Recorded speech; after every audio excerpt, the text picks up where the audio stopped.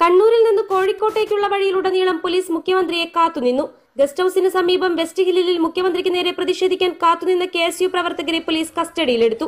K S U ജില്ലാ vice president സൂരജിനെയും Elathur block president ഡെഗിനെയുമാണ് പോലീസ് കരുതൽ എന്തിനാ വിഷയം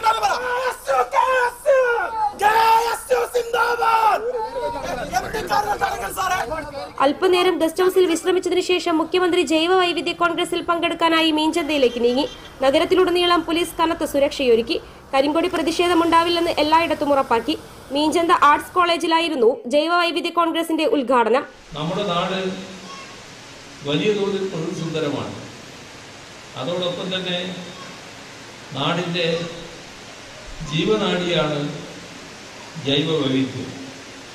അത് സംരക്ഷിക്കുക എന്നത് പ്രധാന കടമയായി നാം എടുക്കേണ്ടതുണ്ട്.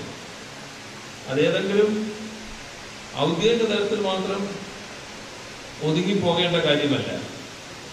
ജനങ്ങളാകെ സഹകരിച്ചുകൊണ്ട് ഒരു ജനകീയ യജ്ഞമായി ഏറ്റെടുക്കേണ്ട പ്രവൃത്തിയാണ് മുഖ്യമന്ത്രി എത്തുമ്പോൾ കറുപ്പ് പാടില്ലെന്ന അനൌദ്യോഗിക നിർദ്ദേശം വിദ്യാർത്ഥികൾക്ക് കോളേജ് അധികൃതർ നൽകിയിരുന്നു.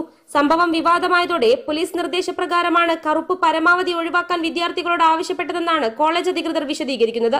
മുഖ്യമന്ത്രിക്കൊപ്പം മന്ത്രി മുഹമ്മദ് റിയാസും ജൈവവൈവിധ്യ കോൺഗ്രസിൽ പങ്കെടുക്കാൻ എത്തിയിരുന്നു ഇന്ന് മുഴുവൻ സമയവും ജില്ലയിലുള്ള മുഖ്യമന്ത്രി നാളെയാണ് മടങ്ങുക. റിപ്പോർട്ടർ കോഴിക്കോട്.